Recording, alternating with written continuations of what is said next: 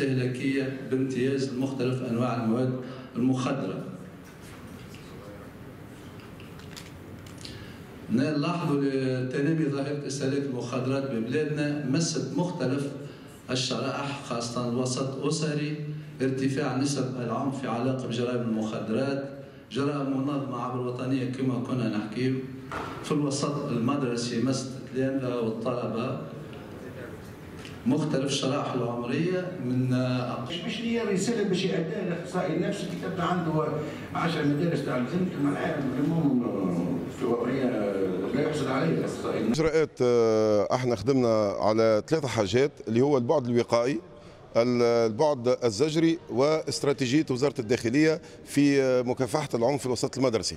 كما تعرفوا الناس الكل إحنا كوزارة الداخلية مهمتنا الأصلية هي حماية المواطنين في الفضاء المدرسي في مكافحة الجريمة في الفضاء الرياضي. هذاك علاش؟ بالنسبة إحنا بدينا بحملات هادفة حملات عطت الأكل نتاعها. كما تعرفوا البارح واليوم عندنا العملية النوعية اللي صارت على مستوى آه، مروجي المخدرات والمفتشين عنهم خطيرين. هذيك كل آه، باش نوصلوا ما نبقوش نستنوا في المروجين اللي يوصلوا المؤسسة التربوية. خدمنا لهم في العمق والحمد لله النتائج كانت إيجابية. أهم النتائج بالنسبة إحنا الحمله آه، وصلنا والحمد لله بخلاف اللي أعطيناه البارح 205 متورط في ترويج المخدرات ومفتش عنهم خطيرين. زدنا اليوم presque 17 واحد.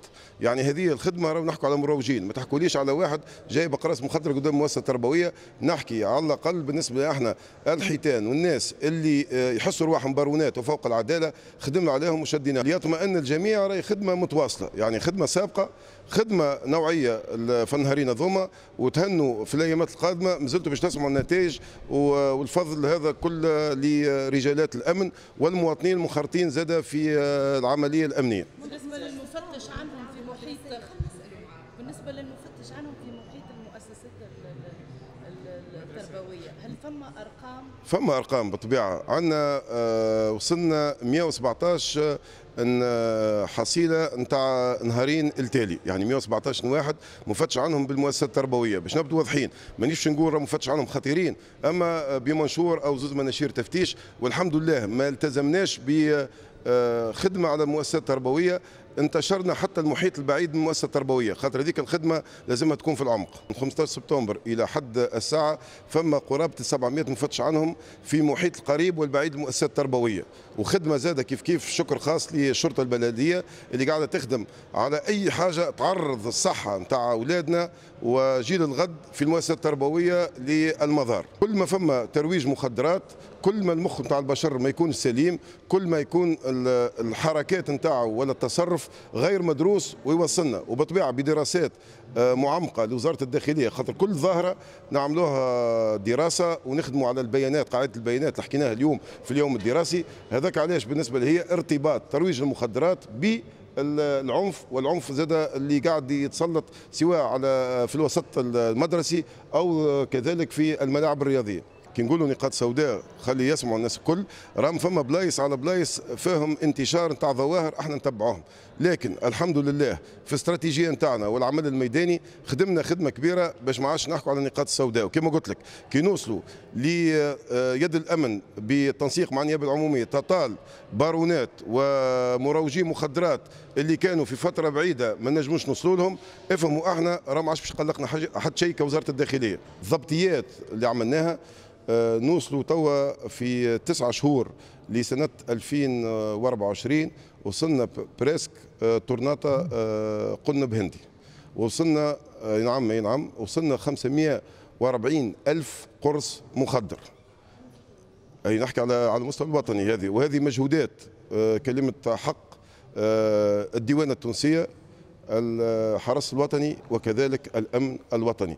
خدمة كبيرة برشا ومثالش ما دام إحنا في اليوم الدراسي هذا أقوى مخدرات قاعدة تمشي هي الأقراص المخدرة خاطر على أساس أنها صغيرة وتنجم تتحط في أي بلاصة وما نفيقوش بها. والحمد لله بالنسبة لي إحنا كي نقولوا 500 ألف قرص مخدر تعرف معناتها 500 ألف؟ يعني كان كل تلميذ باش يستعمل لنا عندنا 500 آه، ألف تلميذ كان باش يستعمل قرص مخدر. آه، بعد إذنكم لو ما عادش فما أسئلة خليني نعطي فتح آفاق على العمل المشترك. خاطر إحنا قاعدين نحكوا على عمل مشترك كبير برشا. وزارة الداخلية لن تتوانى باش تخدم خدمتها وأكثر من خدمتها لكن فما عمل مشترك لجميع الوزارات. إحنا مادين يدينا كوزارة الداخلية وماذا بينا الوزارات الأخرى قاعدة تعاوننا وتزيد تعاوننا في المجهود هذا. ونبدو زاد كيف كيف نحكوا. اك التلميذ اللي هو ولد صغير لازم يلقى صحة طيبة. يدخل آه، مؤسسة عمومية باهية يقرأ وإذا ما قرأش لازم فما تكوين مهني آه، باش ما ينخرطش في الإجرام ويقول لك قوتي ولا لازم يجيب يدخل فلوس.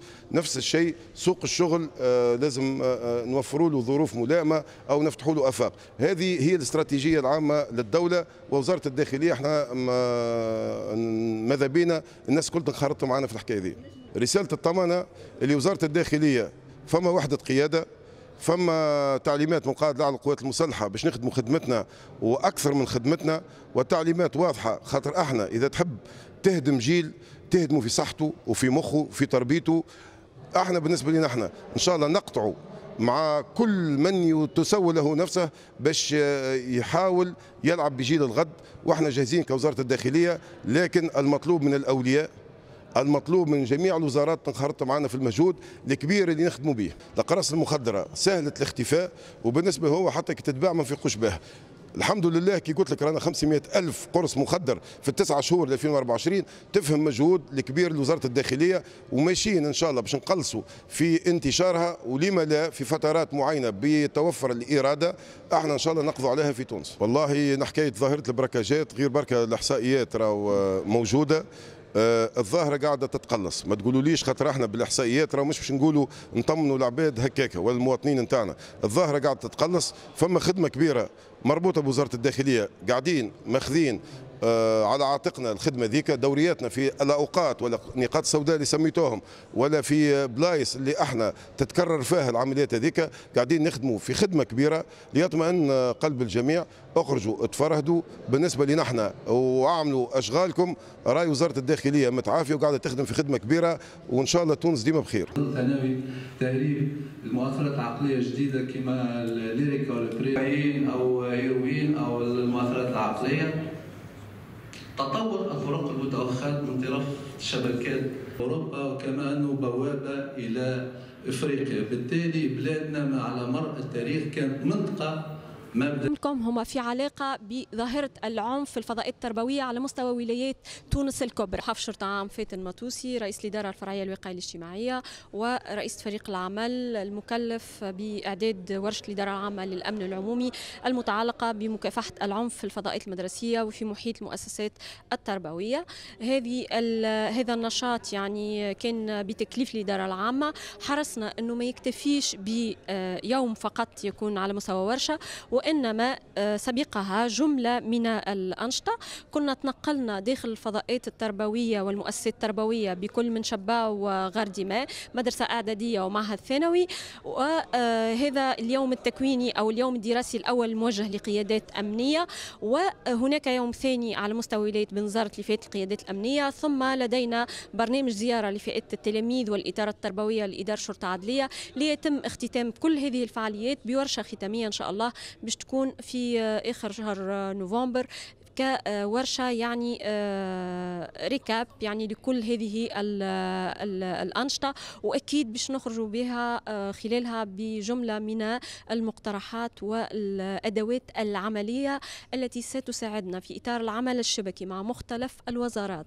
وبالأساس مع وزارة التربية مع وزارة الأسرة والمرأة والطفولة وكبار السن والسادة مندوبين جهويين لحماية الطفولة والسيد مندوب العام ووزارة الصحة لأنه كانت شريك فاعل ومهم بالنسبة لنا في الأنشطة هذه من خلال وجود السيدة عايدة النفاتي بصفتها أخصائية نفسية صلبة وحدة إنجاد بمستشفى شارنيكول إذا هذا عمل كانت البادرة من الإدارة العامة للأمن العمومي لكن آه، نحن أيدينا ممدودة لكافة الهيكل المتداخلة.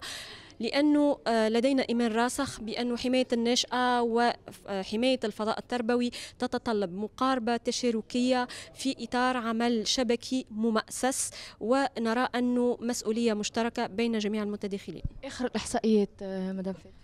الإحصائيات هي إحصائيات على مستوى لأنه اليوم الدراسي هذا كان موجه لولاية تونس الكبرى. آه، إذا الإحصائيات باش نقدمها لك هي المسجلة على مستوى ولاية تونس الكبرى.